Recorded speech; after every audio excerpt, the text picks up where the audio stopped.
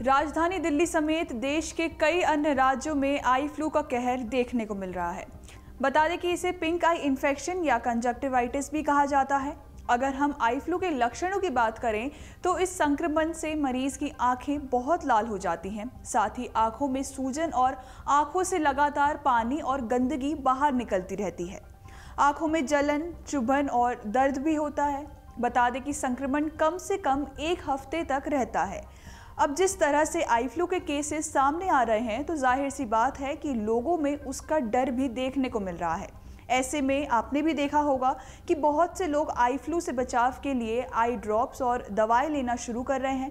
लेकिन आज हम आपको कुछ ऐसे घरेलू उपायों के बारे में बताने वाले हैं, जिसकी मदद से आप आसानी से इस समस्या से निजात पा सकते हैं। हम आपको बताएँगे कुछ ऐसी चीज़ें जिनका सेवन आपकी सिर्फ़ आँखें ही नहीं, बल्कि आपके शरीर को भी स्वस्थ रखने में मदद करेगा। पहले बात करते हैं चिया सीड्स और अलसी के बारे में। तो चिया सीड्स और अलसी के बीच में ओमेगा थ्री फैटी एसिड भरपूर मात्रा में पाया जाता है। सुबह के ब्रेकफास्ट या फिर ड्रिंक्स में आप चिया और अलसी के बीजों को शामिल कर सकते हैं और ये सलाद और मिठाइयों में भी एक अच्छा टेस्ट जोड़ते हैं। अगर आप आई फ्लू की समस्या से परेशान हैं तो रोज़ाना इसका सेवन ज़रूर करें।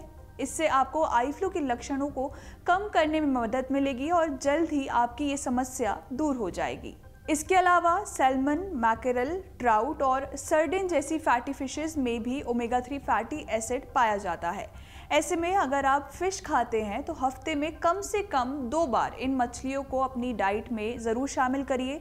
इससे आपके ओमेगा थ्री के सेवन में काफ़ी वृद्धि हो सकती है। बता दें कि फ्राइड फ़िश की जगह बेक्ड और भाप में बनाया गया फ़िश ज़्यादा हेल्दी होगा।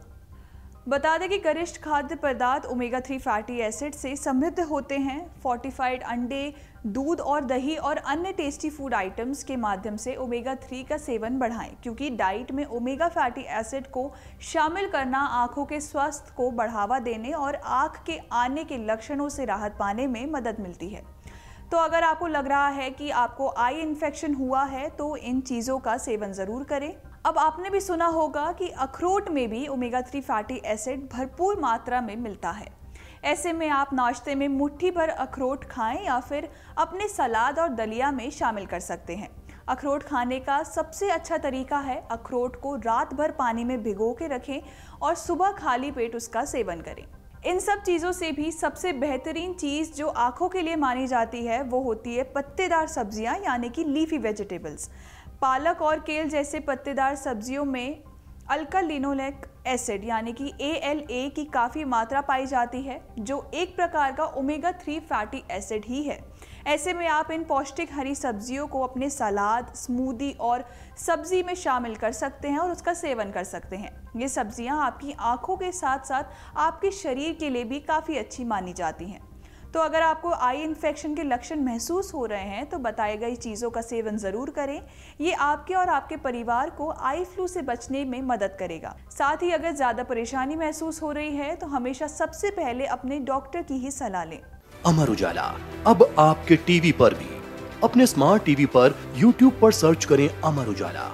चैनल सब्सक्राइब करें और देखें ताज़ा खबरें। वो भी HD क्वालिटी में। और हाँ बेल आइकन दबाना ना भूलें। ताकि हर खबर हो आपके घर। अमर उजाला निष्पक्ष निर्भी निरंतर।